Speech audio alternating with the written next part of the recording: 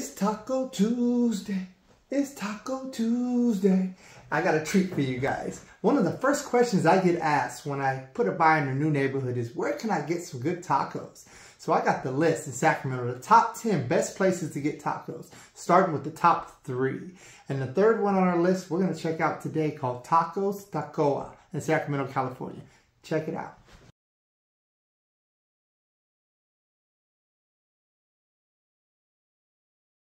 They are here. We got three tacos. We got one pastor, one carne asada, and one carnitas with three salsas here. Let's start with the steak one.